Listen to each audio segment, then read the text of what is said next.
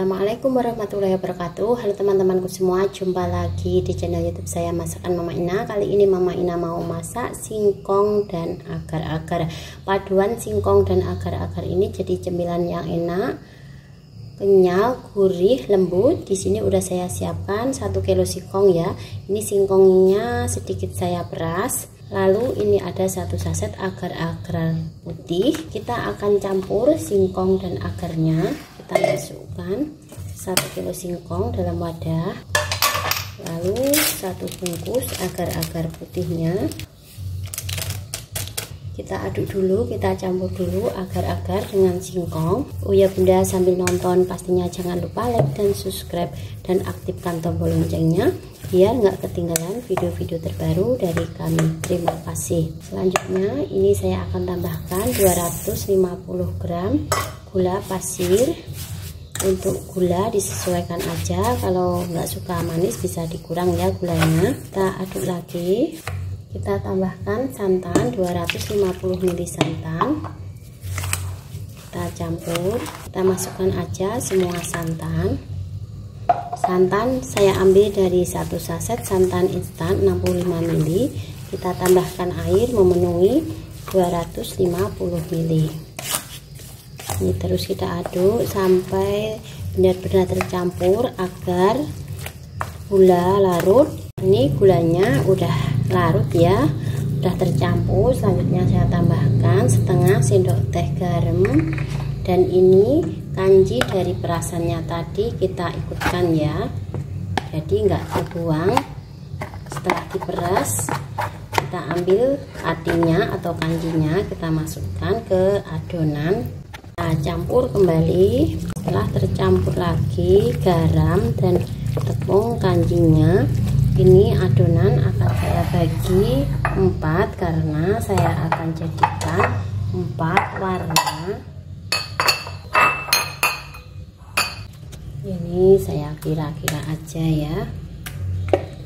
Nggak sama banyaknya juga nggak apa-apa. Perlu ditimbang satu bagian saya kasih pewarna kuning kita campur sampai merata. Nah ini yang satu bagian udah saya kasih pewarna hijau juga. Lalu satu bagian lagi kita masih pewarna merah rose Dan ini yang satu warna lagi saya kasih warna biru Jadi merah kuning hijau dan biru kayak pelangi. Tapi ini kita akan kukus sendiri-sendiri dalam wadah. Di sini saya siapkan wadahnya dari plastik tahan panas kita olesi dengan minyak tipis dulu biar nanti mudah dikeluarkan dari cetakannya. Setelah dioles semua saya akan masukkan masing-masing ke dalam cetakan. Kita aduk dulu sebelumnya. Ini sambil diratakan. Sambil diaduk dulu dan diratakan. Setelah selesai kita masukkan ke dalam cetakan semua. Selanjutnya kita kukus. Kukusan udah siap. Selanjutnya kita masukkan adonan singkong agarnya. Dan ini dikukus selama 30 menit sampai matang. Nah ini udah 30 menit udah matang. Selanjutnya kita angkat dan dinginkan. Lanjut saya akan kukus kelapa untuk taburannya. Untuk kelapa parutnya, di sini saya siapkan kelapa parut, lalu garam dan sobekan daun pandan, lalu kita aduk, terus kita pindahkan ke wadah yang tahan panas. Lanjut kita akan kukus.